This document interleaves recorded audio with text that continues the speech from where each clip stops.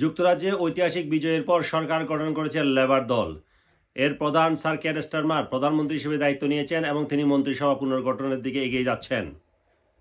এইবারের মন্ত্রিসভায় ব্রিটিশ বাংলাদেশি কেউ স্থান পেতে পারেন এমন আশায় বুক বেঁধে আছে ব্রিটিশ বাংলাদেশিরা। আপনারা জানেন, গতকাল অনুষ্ঠিতব্য নির্বাচনে চারজন ব্রিটিশ বাংলাদেশি এমপি নির্বাচিত হয়েছেন।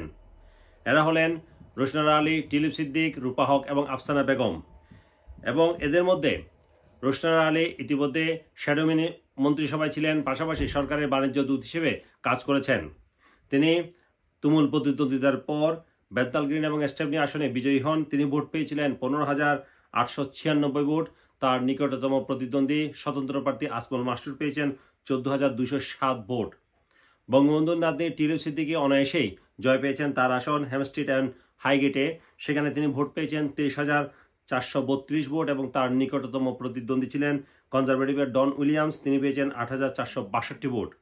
এছাড়া পপলার এবং লাইম হাউস, যেটি আরেকটি বাঙালি পাড়ার আরেকটি আসন, সেখানে আফসানা বেগম অনায়াসে জিতেছেন। তিনি ভোট পেয়েছেন আঠারো হাজার পাঁচশো পঁয়ত্রিশ ভোট এবং তার নিকটতম প্রতিদ্বন্দ্বী গ্রিন পার্টির নাতালিয়া বেনফেট পেয়েছিলেন পাঁচ হাজার নয়শো পঁচাত্তর ভোট। ইলিং সেন্ট্রাল এবং অ্যাক্টনে ডক্টর রূপা হক, তিনিও জিতেছেন অনেকটাই অনায়াসে। তিনি ভোট পেয়েছেন বাইশ হাজার তিনশো চল্লিশ ভোট এবং তার নিকটতম প্রতিদ্বন্দ্বী জেমস উইন্সর ক্লাইভ কনজারভেটিভ দলের আট হাজার তিনশো পঁয়তাল্লিশ ভোট পেয়েছেন। এবার মন্ত্রিসভায় যাওয়ার পালা ব্রিটিশ বাংলাদেশিদের, কারণ রোশনারা আলী এবং টিলু সিদ্দিকে তাদের দুজনেরই শেডু মন্ত্রিসভায় দায়িত্ব পরিচালনা পালন করার অভিজ্ঞতা রয়েছে। রোশনারা আলী সরকারের বাণিজ্য দূত হিসেবে বাংলাদেশে কাজ করেছেন, পাশাপাশি শেডু মন্ত্রিসভায় ছিলেন। টিলিপ সিদ্দিক প্রধানমন্ত্রী স্যার কেয়ার স্টারমানের খুবই ঘনিষ্ঠজন পাশাপাশি আসনে তারা দুইজন এমপি এবং তিনি economic secretary to treasury shadow হিসেবে দায়িত্ব পালন করছিলেন। এর আগে তিনি এডুকেশন এবং আর্লি ইয়ার্স এর চিলড্রেন এবং আর্লি ইয়ার্স যে ডিপার্টমেন্ট রয়েছে সেখানে শ্যাডো মিনিস্টার হিসেবে কাজ করেছিলেন।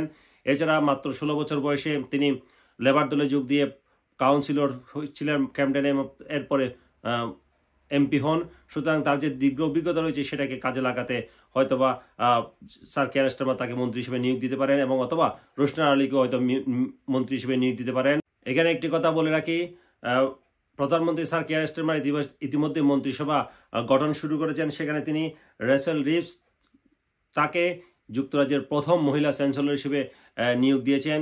এছাড়া অ্যাঞ্জেলা রাইনার তিনি ডেপুটি প্রাইম মিনিস্টার হিসেবে নিয়োগ পেয়েছেন, ইউবেতা কোপার তিনি হোম সেক্রেটারি হিসেবে নিয়োগ পেয়েছেন, এই তিনজনই হচ্ছেন নারী। এরপর ডেভিড লামি তিনি ফরেন সেক্রেটারি হিসেবে নিয়োগ পেয়েছেন। এছাড়া আরও অনেক নারী এবং পুরুষ মিলিয়ে তিনি মন্ত্রিসভা গঠন করেছেন। এখন শুধু ব্রিটিশ বাংলাদেশিদের প্রত্যাশা, ব্রিটিশ বাংলাদেশি এমপি থেকেও কেউ যেন মন্ত্রিসভায় স্থান পায়। ব্রিটিশ বাংলাদেশিরা আশায় বুক বেঁধে আছে, এই চারজন এমপির মধ্য থেকে যে কাউকে হয়তোবা মন্ত্রিসভায় স্থান দিতে পারেন, এর মাধ্যমে বহির্বিশ্ব এবং যুক্তরাজ্যে ব্রিটিশ বাংলাদেশিদের ভাবমূর্তি উজ্জ্বল হবে এই আশায় বুক বেঁধে আছেন ব্রিটিশ বাংলাদেশিরা। Sarwar Hossain, top news, London.